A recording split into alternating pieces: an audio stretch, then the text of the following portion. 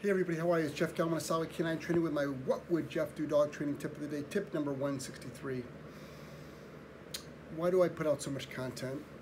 Why do I talk a lot of times in so in such an intense voice? Why do I talk about punishment? Why do I talk about consequences? Why do I give away all my knowledge for free? Why am I so passionate about what I do? It's for my love of humans, bottom line. So many people every day, my life is consumed with humans that are struggling. My life is consumed with humans that are struggling, and I can help them. I have so much empathy for people out there that are struggling in all parts of their life. When it comes to dogs, I can immediately do something about it. Immediately. Through boarding train, one-on-one, like Q&As, Patreon, Skype. I can immediately do something about it. And I can make someone's quality of life that much better.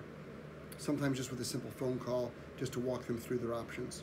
Sometimes having a plan, as you know, maybe everything isn't fixed, settled, accomplished, but having a plan is huge. And anything you're struggling with in life, any sort of tragedy, any sort of battle, any sort of thing that's challenging. So many people don't know what it's like to have a dog. And I'm not talking about a highly trained dogs. My dogs are not highly trained. They're not, they know, when it comes to obedience, three or four basic commands. That's it. That's it yes, my dogs can do some stuff, but when it comes to the daily household life, traveling with my dogs, I travel with my dogs around North America on a day-to-day -day basis, three or four things they need to know. That's it. And most of it is go lie down and do nothing because I take my dogs everywhere. So many people don't know what it's like to have a dog that they can take so many places out in public and not have to stress, not have to freak out, not have to have a panic attack, not have to worry about a dog biting.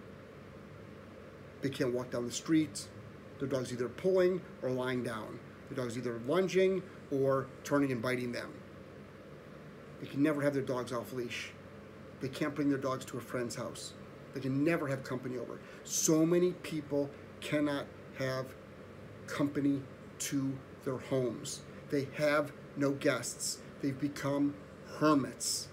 These are, and we're talking about like, not, we're not talking about hoarders here. We're talking about people with just like one or two dogs. People's relationships are, are divorce, separation.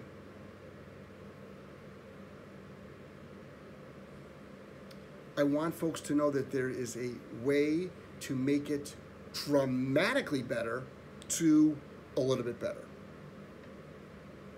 Livable to, oh my God, it's a miracle. And that's why I put out so much material.